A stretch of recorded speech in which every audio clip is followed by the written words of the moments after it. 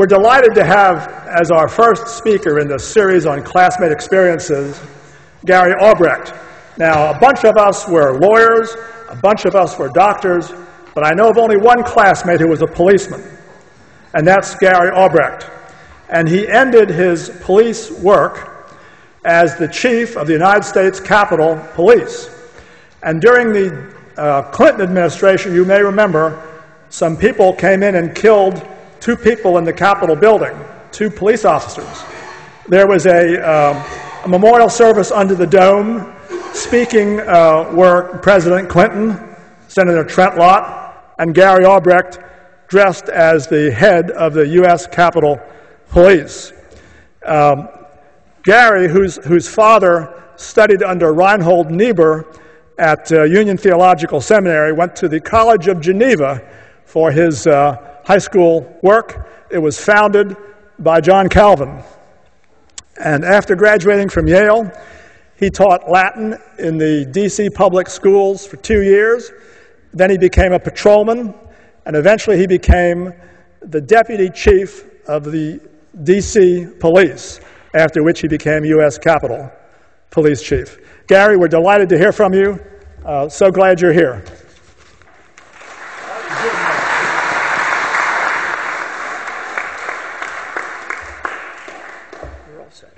Okay, I guess I'll just start by figuring out, telling you the answer to the first question is how the heck did I get into this uh, situation?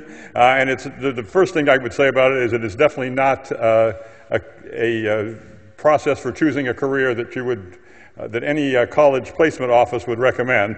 Uh, it's serendipitous in, the, in, in, its, uh, in the most. Uh, I was when I graduated from Yale. We, I was, or as I was headed out of graduation from Yale, I was supposed to be going in the Peace Corps to Uh, Upper Volta, now Burkina Faso, I am told.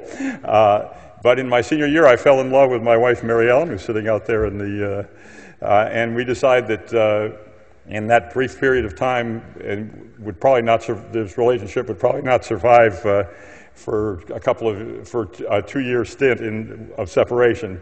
So I quit the Peace Corps and went found a job in Washington teaching Latin to sixth graders. We married in 1968, and Mary Ellen moved to, to Washington, uh, and she started looking for a job in social service and stumbled upon the, the role of policewoman which was a completely separate occupation from being a police officer back in those days of sex discrimination. Uh, it was only involved with the um, with youth work, uh, youth ju- juvenile delinquency, juvenile ne- child neglect, and stuff like that. Uh, but every night she came home to the, she, the, the, training was the same as for men. She went to the police academy, and every night she'd come home and tell me all the fantastic things she was learning about constitutional law and criminal law and sociology and all sorts of things that sounded a way lot more interesting than teaching Latin to sixth graders. So, uh, at the end, after at the end of that year, I uh, snuck off to the recruiting office and took the uh, police exam and joined the department myself. Uh, I, my, my, part of my scheme was I thought I would go to law school eventually and uh, that this would look better on my resume than another year of teaching Latin. Uh, and in fact, it, it, a little later, in, uh, I decided that I didn't want to go to law school, but she decided she did, and we'll talk about that a little bit later. So here we go. Let's see if this actually works. Look at that. There I am in the back with the green arrow pointing at me as, as a police officer at the police academy. And uh, because I was first in my class at the police academy, which was not very hard uh, given the, the academic uh, competition was not very stiff at the police academy. I, I, got to choose where I went, and I chose to go and work downtown, and that's where we started occasionally encountering ourselves professionally. There we are in front of the juvenile court. Uh, she's, uh, we're both there for some, some business. And as you might suspect, uh, the, the, the, prospect of a couple of, uh, of Ivy League graduates joining the police department did not go unnoticed by the media. So this is an article from Life magazine about, uh, it was primarily about her, but about the two of us in, in, in uh, police work. Uh, what I, was, what I was doing was patrolling downtown Washington. There I am. Uh, this is from one of the Life article pictures. walking the streets, or, oops, and uh, interviewing a citizen uh, as, as we went along.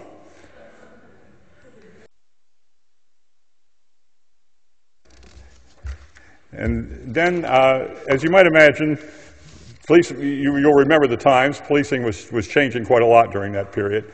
So as I, as I moved up in the police department in my career, I got to be involved in some of the issues that were facing policing during that time. Uh, this was after the, uh, we recall this was after the 68 riots in Washington uh, and all over the country following Martin Luther King's assassination. Uh, the, the, various uh, demonstrations at the Chicago Convention uh, that caused quite a, a, lot of turmoil, and there was a quite a great deal of examination of, of, the, of police work in, in the country and what what should be done about it to improve it and so forth. And one of the things I got to do was uh, work, I got detailed from the police department to uh, do a study of what's now all, of a sudden another a new, newly a, a, big issue, police use of deadly force. And did, we did this study for the Police Foundation, and I was as a detail from the police department. Uh, So then I did what I did was do visits around the country of police departments to figure out uh, what was going on. Uh, I began thereafter a rise through, through the ranks of the police department. Uh, this was fairly easy because the promotional examinations were all multiple choice tests, and our alma mater had prepared me well for that sort of thing. And so I pretty much clobbered the competition at that, at that game. Uh, I remained in the Uniform Patrol Force pretty much my entire career at, at, at, the Metropolitan Police Department with a couple of short examples. I was, short exceptions, I was director of planning for the police department for a number of years and also the director of equal employment opportunity for a time. Uh, but then ultimately I became the deputy chief in charge of the first district, the whole downtown business district of, and a, a substantial residential area as well. You recall this is a dark, these were dark days in the city. This was, uh, Washington was known as the murder capital of the, of the United States at that time.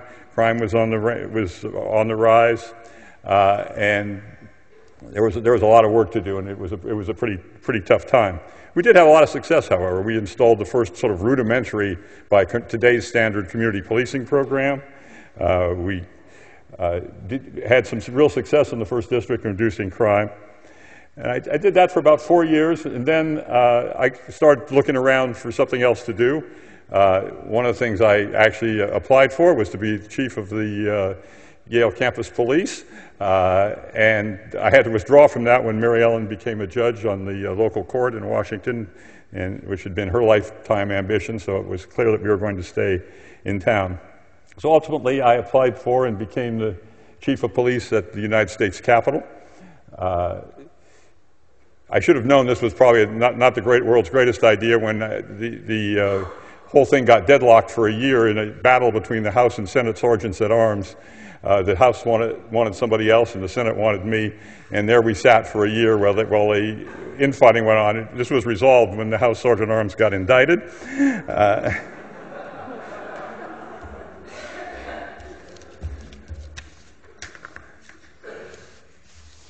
Whoops, well, it would be nice if I could get the pages straight here.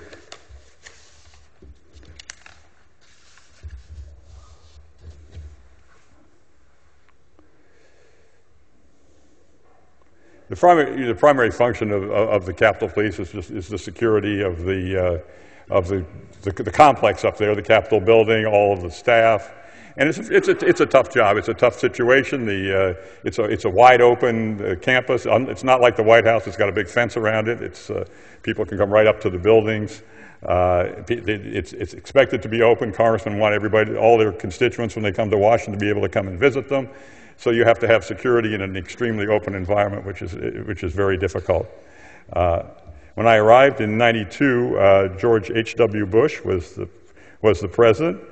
Uh, but the president, whoops, sorry, that's my retirement uh, sketch from the, uh, from the Metropolitan Police Department. This was a thing in the police department to have somebody on, do a picture, do a sketch of you, and your, all your friends signed it.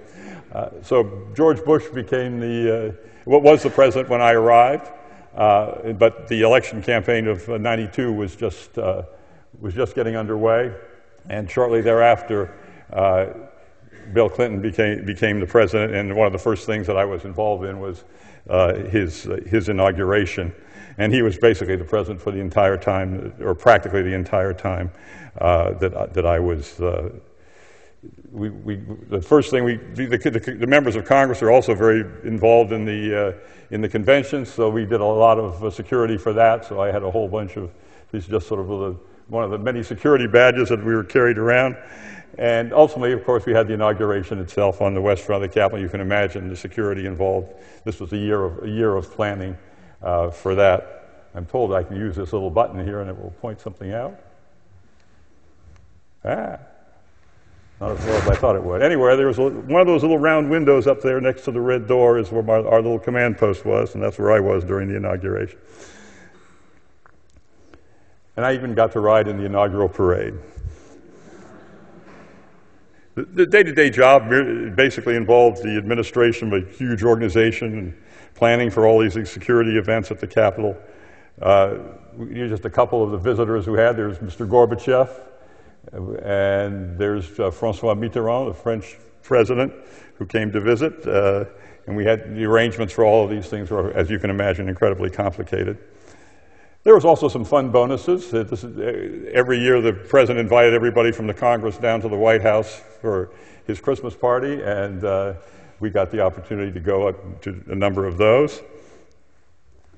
But then there were, but my, my time at the Capitol was really overshadowed by something that, that uh, Tom mentioned in his, in his remarks, uh, which was the uh, shooting, the shooting of two officers in the Capitol building on July 24th, 1998. Uh, a madman named Russell Weston, uh, if you don't remember the details of his story, walked into the Capitol building and shot two officers, killing them both.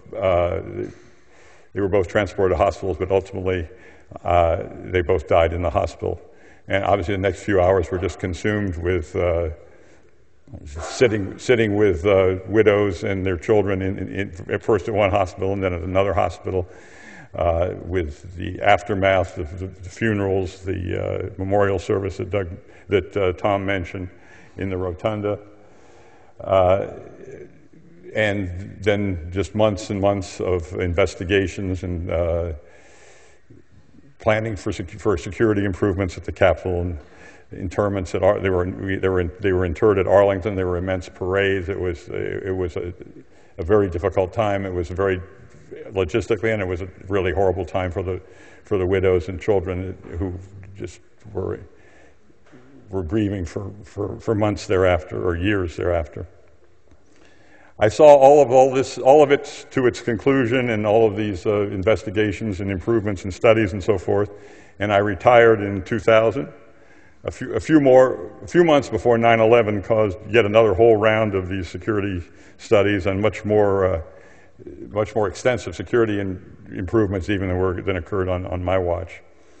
In retirement. Uh, right after retirement, I came up here for my daughter's graduation in the class of 2000, which was a nice uh, relief. Uh, and I've been leading hikes uh, on the Appalachian Trail. I've been volunteering at all various places in Washington. I'm on a board of a little community foundation at our church. I, I uh, volunteer at the National Cathedral one day a week, where I, my fondness for uniforms is rewarded. I, I wear a purple cassock now. My wife says I just I wear a purple dress and wander to and fro. Uh, The only, only police thing I'm currently involved is is that the, my successor, my fifth in a row, my fifth successor since my time there, uh, the, I, I, they don't last as long as I did apparently.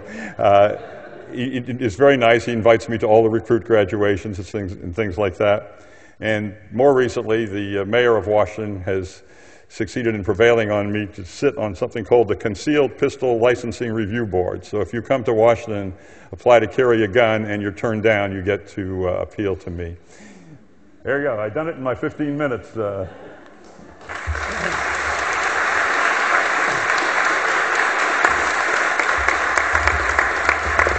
Thank you, Gary.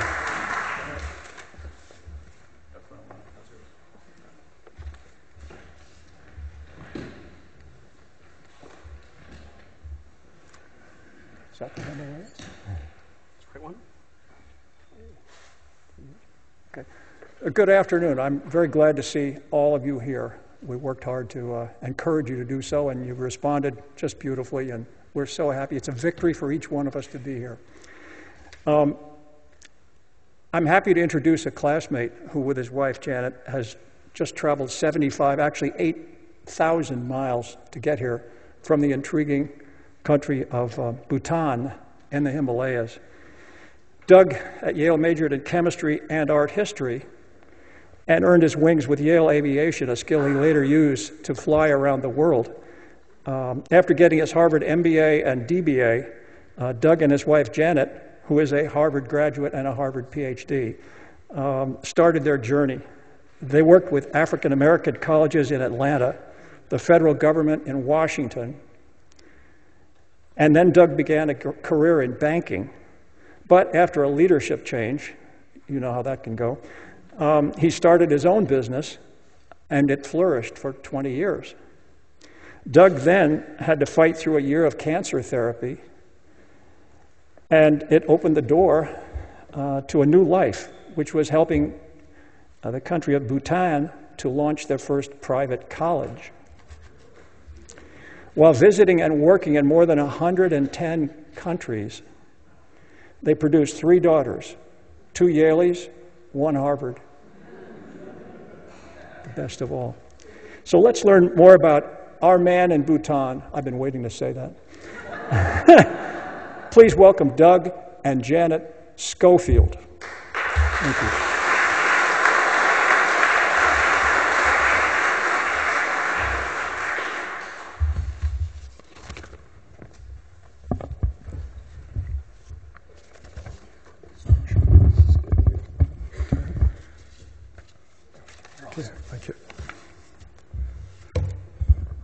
Thank you all.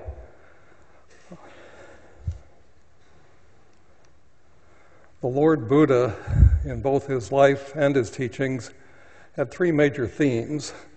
One is impermanence, or what Bob Dylan would say, the times they are changing. Second is the cycle of life, death, and rebirth. And the third important theme was the value, the importance of getting out of your comfort zone getting out in the world to learn from other people, all the other people who share the earth with us. And I think, even though I'm not at all a religious person, these three themes are very emblematic of, of the life I have led. Um, I was quite blessed to have two very outgoing, courageous parents who also believed, particularly in this last theme of getting out in the world to understand people, to learn from them. And when I was at the ripe old age of 12, my father decided to pack up the car, drive from Cleveland to Panama on the so called Pan American Highway, uh, which at that time was a one lane dirt track. It was an extraordinary adventure, but more importantly, meeting extraordinary people. Uh, for instance, a group of Mayan Indians at 2 in the morning patching our car together uh, so we could limp into the village 50 miles away after it was badly damaged. Um, in due course, we did make it to Panama. And the very next year, uh, my mother, thinking a little more broadly, decided a part of our education, my sister, brother, and me, would be to spend an entire summer in the Middle East and Asia. This was not a tourist trip. It was more, as I was saying, to meet people, understand different perspectives, and from that, build a richer life and a better understanding life. It was also an eye opening experience. One of our early stops was this Palestinian refugee village. My first encounter with people who had been driven out of their country and were struggling to get along. Little did I realize at that time that literally three generations later, I would end up in this same village working with women to build uh, their own businesses to support their families.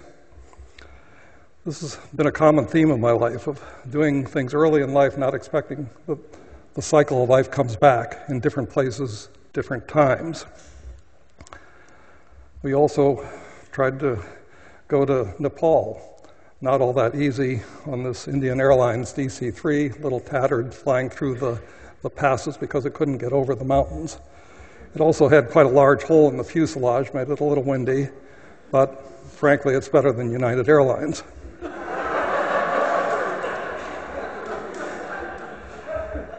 I think we also encountered just situations we'd never seen before. In America, you don't see a view like you do in Calcutta. We also encountered people who, despite many physical hardships, economic hardships, nonetheless were happy. A little while later, at the old age of 15, a friend and I decided we'd see more of the U.S. by pretending to be Huck Finn, going down from Cincinnati to New Orleans on this massive boat. It, it, was a lesson in meeting incredibly different cultures within our country. Again, pockets of people we'd never realized existed there. Was also a lesson in problem solving. You can't imagine the number of things that go wrong on a boat like this. and, of course, Yale graduation. This is my wife to be, Janet. Uh, she was considering a marriage proposal, uh, which included, importantly, a wedding gift of hiking boots. Took her a year to decide, even with an inducement like that. But uh, after graduation, she set off around the world with the Harvard Singing Group, presenting over 50 concerts in, oh, I don't know, 15, 16 countries, everything from small villages in the Philippines to the Edinburgh Festival. In parallel, I decided to head out to Africa, where I was, my plan was to hitchhike and take local trains all the way across Africa. Plans don't work very well in Africa. But some things do work extraordinarily well. This is on a five day trip trying to get uh, all the way to Timbuktu from the Ivory Coast. Uh, we were five days into what turned out to be a seven day trip, long way. But along the way, a very poor African family basically adopted me, took me on as a father as son, shared their meager meal with me all the way as we went day after day along the way. A lot of things I encountered on that trip you don't find anywhere else. Uh, people so poor that they still wear animal skins. They can't afford clothes. Slums like this, un- unimaginable in America. Along the way, getting back to the U.S., I met the Fijian arm of my family. My cousin had moved to Fiji when she was 20, married a Fijian, and wound up with a wonderful family there.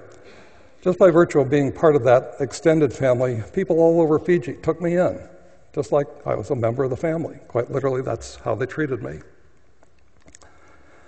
After we married, uh, Janet got the hiking boots. Ten years later, we found ourselves here, which you'll recognize as the middle of the Sahara Desert. This was a trip not only in, in space, but also in time.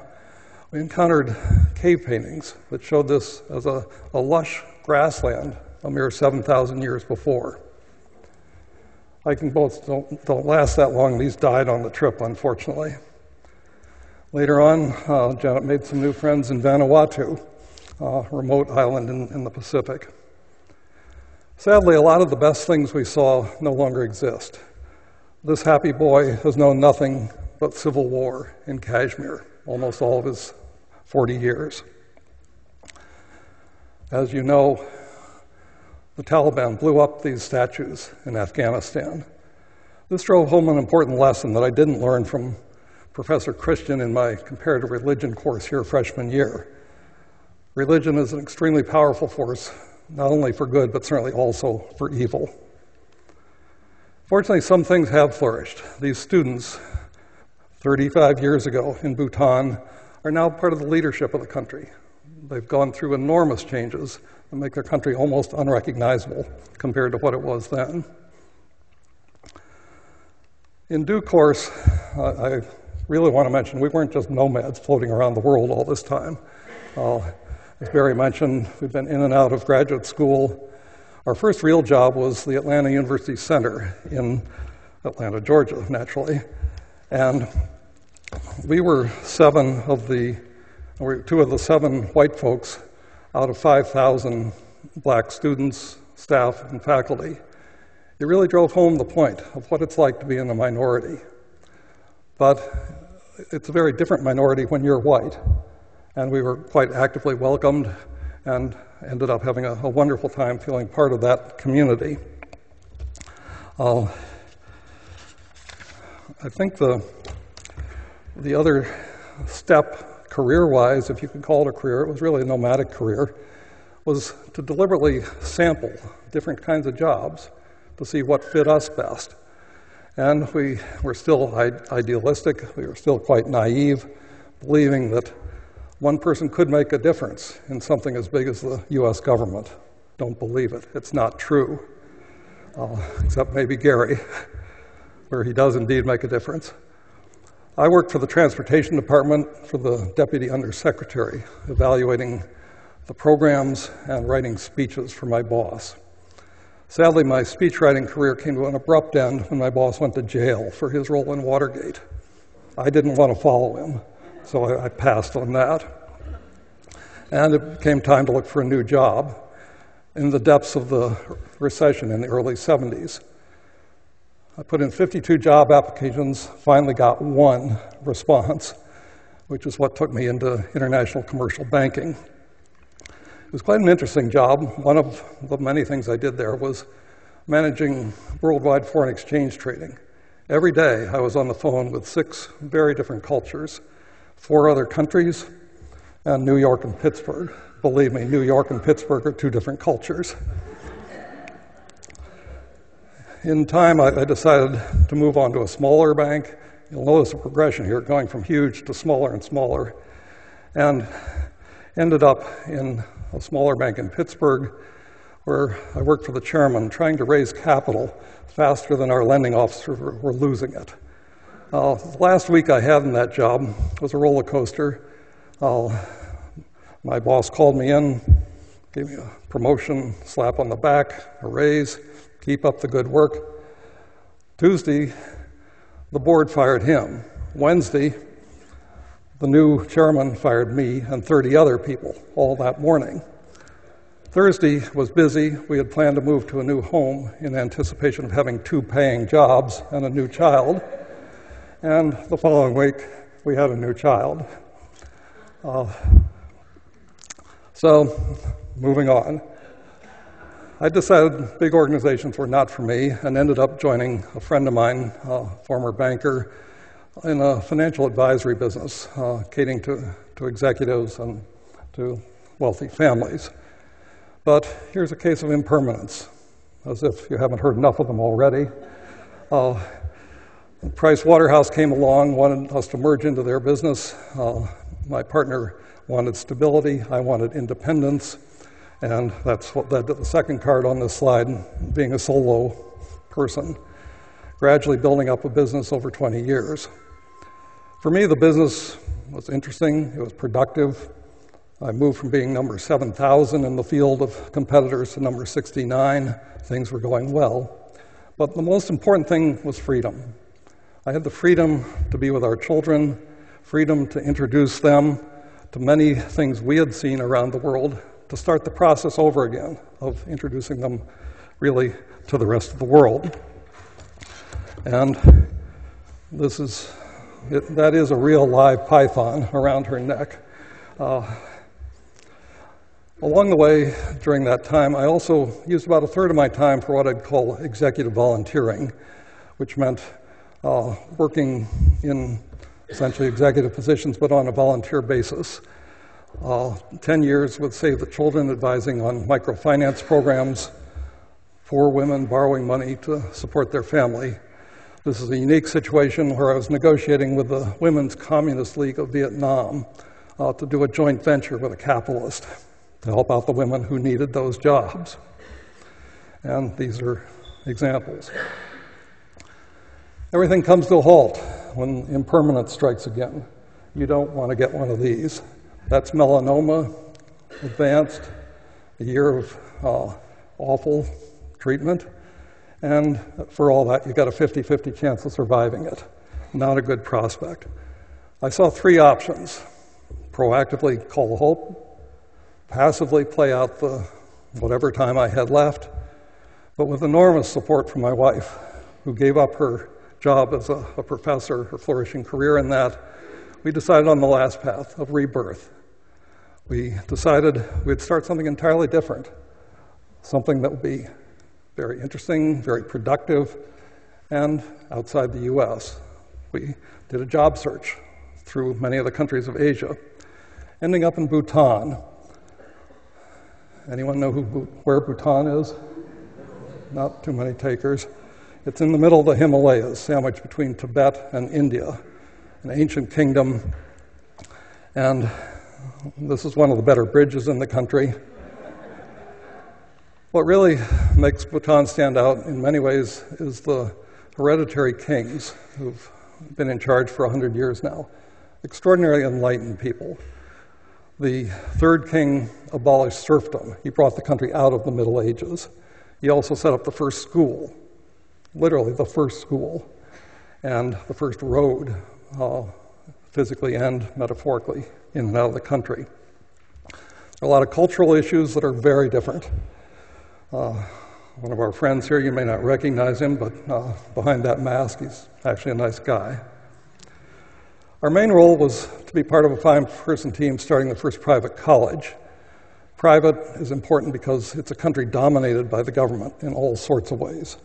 Uh, we were private in the sense we didn't get any money from the government, but we were subject to enormous regulations. You can see here the unbelievably diverse faculty, our first group Indians, Bhutanese, and a smattering of, of Westerners. It's quite a, a, festival when any important thing goes on. This is opening day at the college. Uh, no event is anything in Bhutan without some sort of Buddhist ceremony. Uh, there you can see a few of our professors, including Janet, and our first cohort of students. We grew extraordinarily fast, went from zero to 1,200 students in four years, and at our first graduation, which frankly puts Yale to shame. Uh, th- this is a, a, real celebration. And uh, some other things we did, uh, for instance, First day we opened, we had a management meeting, and the girls complained. The dormitory was haunted. We had to get rid of the ghosts, and we had to do it fast. We have an extraordinary founder of the college, a graduate of Yale Management School, Berkeley Engineering, and used to run the biggest electric company in Bhutan. Uh, he sized up the situation and said, No problem. Uh, I see you running out of time.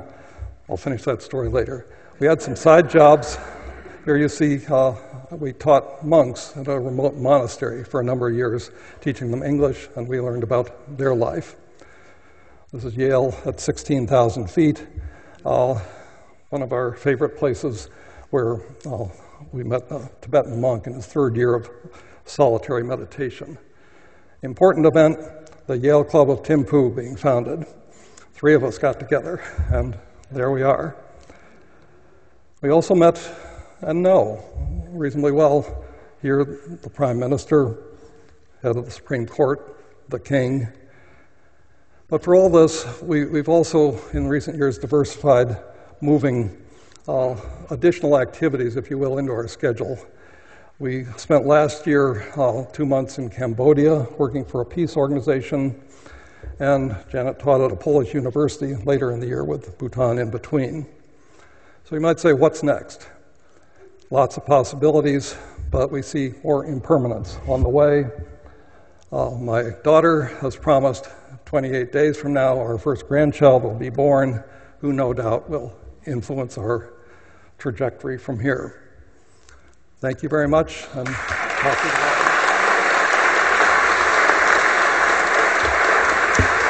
Thank you. Thank you very much. Do You want to sit here? Do you want to sit? Right Good afternoon. I'm Bill Mace, and I'm pleased to introduce my uh, old friend John Wilhelm today. Uh, yet another Trinity parent, but that's not here. What he Trinity? I'm a Trinity. He's a, a Yale parent, I should say, uh, among the many here. Um, so John, as uh, many of you know, uh, started union work uh, here in New Haven. Yale knows about much of his work. He uh, became uh, ultimately president of the uh, Unite Here, uh, uh, Hotel and Restaurant Workers Union, and has made obviously quite a large impact and reputation. So I think you'll hear about a fair amount from John.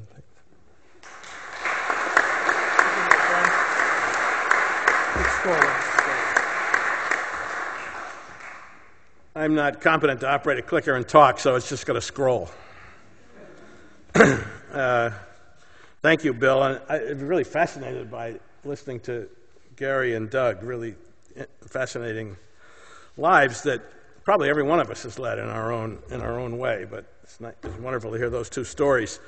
Um, I have uh, four uh, colleagues with me who are members of the unions at Yale, and I'd like to just very briefly introduce them. I, I wish we had time for you to hear from each of them, but having been instructed that the hook will arrive at the appropriate time, I, I, I do want to introduce them. Uh, Tyisha Walker. Tyisha is a native of New Haven. She started uh, in the Yale dining halls in 1998. And because of the Local 35 contract mechanism, she was able to become a full time uh, dining hall worker. Uh, she has two children. Uh, one, the first, the older one graduated from Hillhouse High School, and a couple of weeks ago graduated from Quinnipiac College with the aid of the Yale tuition program. Um, and her younger daughter's just uh, entering Hillhouse. Tyisha is the number two officer of Local 35, which is the service and maintenance union at Yale. It's one, the unit that's been here the longest. It's the, what is sometimes referred to as the blue collar union. Um, she became a, an, uh, as the term is used in New Haven, an alder. When we were undergraduates, it was aldermen, but they dropped the men because now they have women.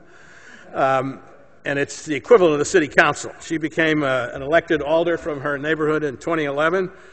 Uh, she is now the president of the New Haven Board of Alders. She's the first African American president of that body, the first African American woman, therefore, uh, president uh, of that body. And definitely the first Yale dining hall worker who's the president of the Board of Alders in New Haven.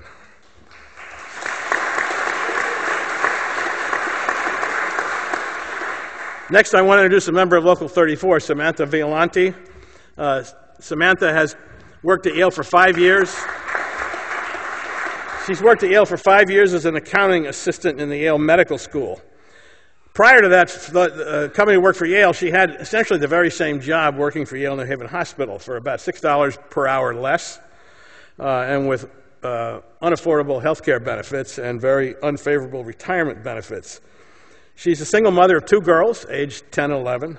She's a cancer survivor, and she told me that her health benefits from Yale University were absolutely crucial in her ability to get through that. And because of the salary she earns under the Local 34 contract, she, she's able to work just one job. Now, that may not sound like much, but it means that she can be part of her daughter's lives and raising them and their schools and their sports and all the other things that we like to be able to do as parents. She owns a home in West Haven, and she told me that there's no way I can give my kids what I can now. I'm not living in a lap of luxury, but I get along. And P.S., her great grandfather built uh, the, uh, one of the original brick ovens at Pepe's. He was an Italian stonemason.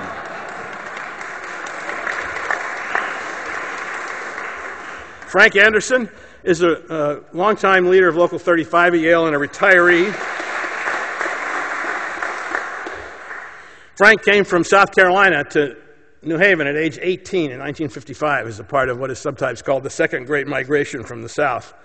He started at Yale as a dishwasher almost as soon as he landed here in November 1955. Worked his way up to second cook. He was the first African American top officer of Local 35, the first uh, business agent of Local 35. He met his wife Marguerite when they were both working in the Yale dining halls. They're both retired now, and, be, and between them, they have 94 years of service to Yale. Uh, and because. Because of the pensions and the retiree health care that the unions and Yale have agreed upon, they own their own home in New Haven and they can live here with some measure of dignity. And in his spare time as a retiree, Frank counsels other Yale employees who are getting ready to retire. And finally, I want to introduce Julia Powers, who is a PhD candidate in comparative literature. Julia has been uh, uh, at Yale for five years uh, after coming from Montana to do her undergraduate work at Amherst. That's a small college up the road. Um, she was one of the uh, people who fasted uh, in the last few weeks as a part of Local 33's efforts to get Yale to negotiate. She was also arrested in a civil disobedience uh, uh, last month protesting sexual harassment at Yale, and in particular, sexual harassment at the grad school. If you have time, take a look at the Washington Post for May 12th of this year.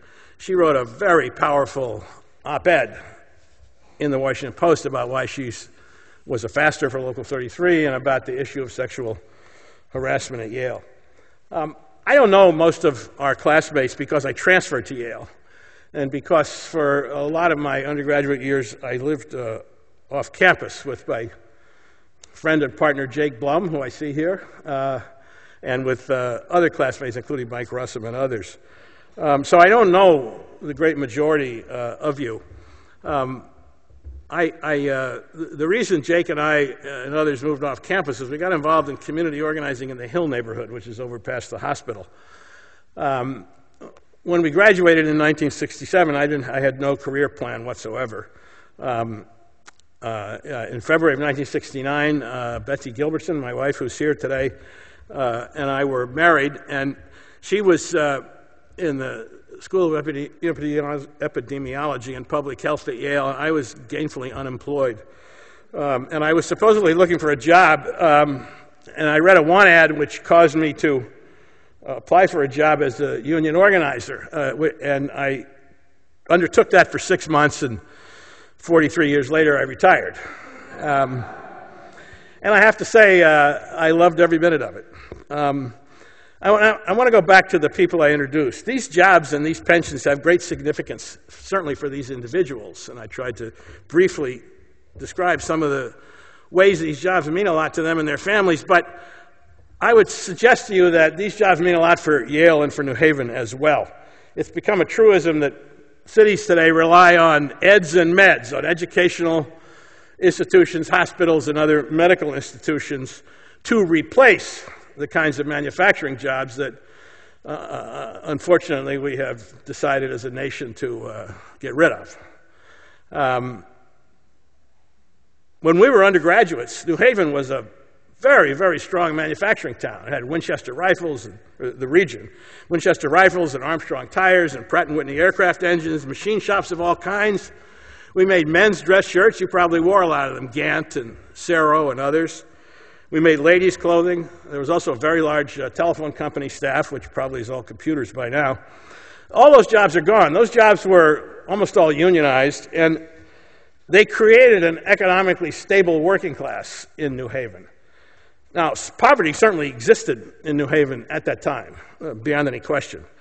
But it was not as widespread as it is now. All those jobs are gone. Virtually all those jobs I just briefly summarized are gone. Poverty is much more widespread here now. In New Haven, as in most American cities, you see homeless people on the street, which were not apparent when we were uh, undergraduates here. And the communities, even those that were poor, were for the most part not hopeless. But as those jobs disappeared, poverty got much worse in this city and in most American cities, and hopelessness spread. Uh, in those days, though, even though a lot of those other jobs could support a family. Yale's jobs in those days were impossible to support families on. Some of you may remember Bill Felder, the late Bill Felder. Bill was a first cook uh, in Trumbull College when we were undergraduates, uh, and a long time before that and a long time after that. Bill worked at Yale for his entire adult life. Uh, when we were undergraduates, Bill worked three jobs to support his family, and his wife worked at Yale as well. And as soon as his kids graduated from high school, they came to work at Yale. Bill was the first cook at Trumbull, full time. He was a part time cook, cook at Scroll and Key, and he had another full time job. In all the years I knew him then, that's what he had to do to support his family. Uh, so the Yale's jobs were characterized by low wages and very weak benefits, and Yale New Haven hospital jobs were essentially the same. Uh, so what happened? Well, our class was the last class for a long time that did not experience a strike of Yale workers during the time that the class was there. Um, there were strikes by Local 35, the, as I said before, the oldest union at Yale, the Service and Maintenance Union, in 1968, 1971, 1974, and 1977, four consecutive contract expirations. Each one of those strikes was longer than the one before. And if you knew, let me go back to Bill Felder, if you knew him, you knew a couple things about him. One, he was very mild mannered. And two, he loved Yale. And I mean that very genuinely. He loved Yale. But he felt compelled to be on those picket lines because he couldn't support his family. It's that simple, not very complicated. Uh, and then Yale's clerical and technical workers organized over the university's relentless opposition, uh, Local 34. And there was a, a very high profile semester long strike in 1984 supported, uh, of Local 34, supported by Local 35, which finally led to their first contract. So there were 11 major strikes plus assorted other one day walkouts and, and, and smaller uh, confrontations uh, since 1968. The last strike was 2003. Uh, now, there are various interpretations of why all these strikes happened. Uh, I, I want to read you two. One came from the, the then communications director of Yale during the 2003 strike. Uh, she said that uh, uh, the problem was the intransigence of union leader and Yale alumnus John Wilhelm. For 30, and this is a quote from her. Quote, for 35 years, John Wilhelm has organized strikes at Yale. This year is no different. He obviously believes that confrontation rather than cooperation is the best way to settle contract disputes. So that, that is one interpretation of what went on. Uh, there is an alternate interpretation. Um, exemplified by a quotation from a guy who's not a Yale alumnus named Theodore J. Rybacki, who was a senior partner at the firm that's still a major American law firm, Seyfarth Shaw, now uh, then known as Seyfarth Shaw, Fairweather, and Geraldson. Uh, Rybacki was a senior member of the uh, uh, labor law division of that firm, and he was publicly quoted as saying, quote, I belong to the Bomb Them into Submission School of Labor Relations. And I was Yale's law firm in the 1984 trike and for quite a few years thereafter. So you can pick which interpretation you like. It's entirely up to you. Um, but what's the result of all of this? I'm keeping an eye on the time. What's the result of all of this? Well, today, Yale jobs can support a family. There are comprehensive health benefits for the family that workers can actually afford to, to, to pay for. There are retirement benefits, as I said in talking about Frank Anderson, that enable people to live in dignity. I mentioned the tuition benefit. Until the 1985 union contracts at Yale, the tuition benefit for children of employees was limited to faculty and, and management. And in the 1985 contract settlements following that huge strike in 1984, the uh, members of Local 34 and Local 35 had that tuition benefit added to their benefits at Yale, and any one of them will tell you it's a wonderful thing to be able to have that. Uh, unfortunately, oh, and back to Bill Felder, at the end of Bill's career, he was able to work one job, not three. So, unfortunately, the same thing cannot be said of Yale New Haven hospital jobs. I'm sure something will happen to that someday. Um, so, what happened? Well, sure, we had a lot of strikes and a lot of struggle, a lot of strife, and a lot of turmoil, but the other thing that happened, and I credit President Levin to a large degree for this, Yale came to the realization that its vitality and its market position, if you will, require that New Haven be a livable place. And as all of you know, there was quite a period of time when it wasn't particularly a livable place, either in the campus area or in many other parts of town. Uh, I think Rick Levin and his very talented vice president, Bruce Alexander, who I think was a year, a year behind us, I believe, uh, at Yale, uh, really figured that out. And then after the 2003 strike, President Levin also realized that New Haven couldn't succeed if Yale jobs were not net positive economic contributors and if strikes constantly drove a wedge between the university uh, and the community. So President Levin and Bruce Alexander and Vice President Mike Peel, who's just retiring this month, uh, worked hard, and I was out of the picture by this new period, and which probably proves the Yale communications director was right. Uh, but one of the pictures you may have seen scroll through there was a picture of uh, President Levin and others, uh, because under their leadership and with the hard work by the leadership of the unions, there have been four consecutive contract settlements with Locals 34 and Local 35 without, stri- without strikes. Uh, and I'm very encouraged that the most recent of those came under uh, the, uh, President Salovey's uh, leadership. So I hope he continues in that. So I, I want to mention, as I close, a couple of other things that are usually overlooked when people talk about wages and benefits. I mentioned a couple of these in introducing my colleagues. The notion that parents can work one job instead of two or three is a complete sea change in terms of how people can raise families. You know, we're always uh, criticizing people who don't raise families properly. And parents who have trouble raising families get blamed a lot. Well, if you work two jobs, two full time jobs, or two and a half, or three, think about trying to raise your kids that way. And of course, you can't afford help. Another one is the civic and political life of the community. I said that Tyisha Walker is the, definitely the first Yale Dining Hall worker to be the president of the Board of Alders. I think that's a really important thing, and it can only happen if people have one job.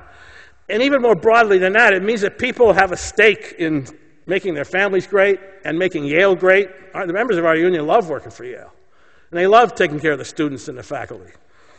Uh, the administration depends who they're talking about, but no, seriously, seriously, they, they love working for Yale, and they have a stake in making New Haven great too. It's too bad that it took so much strife. Uh, Yale went down that road with Local 35, uh, and then they went down that road again with Local 34.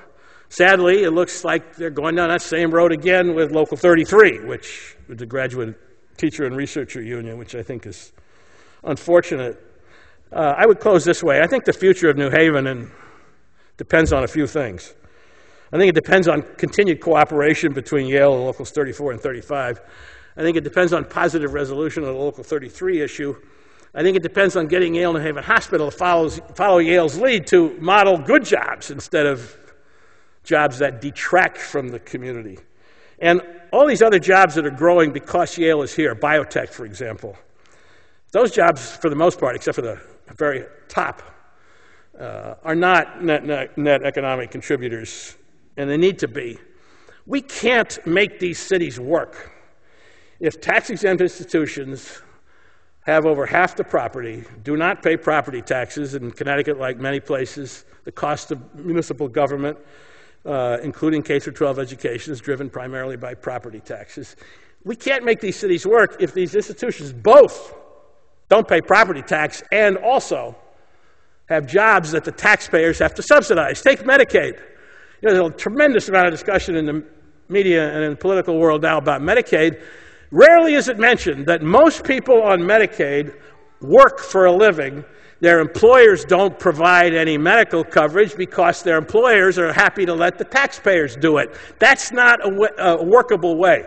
Forget how you feel about that in terms of your own personal moral outlook. We can't make any of these cities work that way.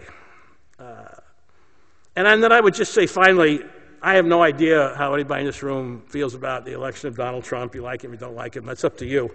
But I'm not talking about Donald Trump, I'm talking more broadly. I think global history shows that when people who work for a living no longer feel like stakeholders in a society, then they become, or can become, don't always, but can become fertile soil for demagoguery, for scapegoating of other religious or ethnic or racial groups, uh, and for fascism. So I think we need to figure out a way I would argue unions ought to be part of it. Somebody may have a better way to do that, and that's fine for the 21st century. We need to find out a way in this country and certainly around the world, as Doug and Janet have shown us, for people to feel like they have a stake. I've had fun trying to do a little bit about that in all the years that I worked for the union. Uh, now I do a little bit of pension work, much of which I did for a while with George Springer, one of our classmates. Uh, but mostly, Betsy and I play with our grandchildren, and I've loved every minute of it. Thank you.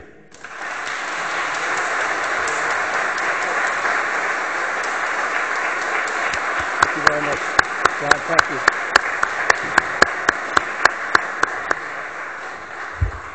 Thank you. A couple of closing uh, housekeeping items.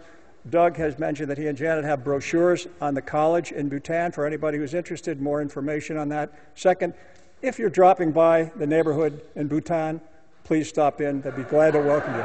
Come on down, or come on up in that case. Now, our next planned event is about two blocks this way. Go down College Street, out Prospect Street, past the Grove Street Cemetery to uh, Ben Franklin College. We're going to be one of the first groups to see it. I, it's not a hard hat tour, but they're going to show us um, as much as they can of it. It's beautiful, it's pristine. It's, as you know, it follows the designs of the classic uh, college system, and it, it, should be a real treat. Some of our uh, athletic coaches will be there to talk and um, just to chat informally, and I think you'll enjoy it. It's a beautiful place, and it's another part of the future of Yale. Thank you.